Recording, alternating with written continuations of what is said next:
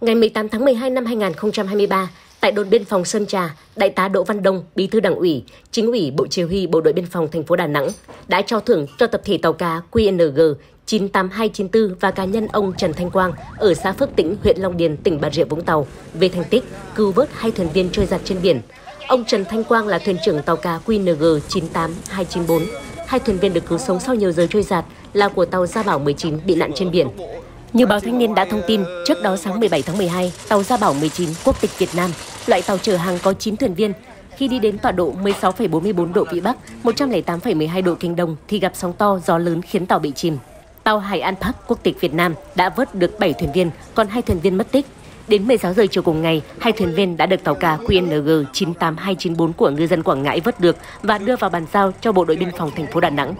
Sáng 18 tháng 12, đồn biên phòng Sơn Trà đã bàn giao hai thuyền viên bị nạn trên biển cho công ty trách nhiệm hữu hạn vận tải biển Hải Ngọc, trụ sở tại xã Diêm Điền, huyện Thái Thủy, tỉnh Thái Bình.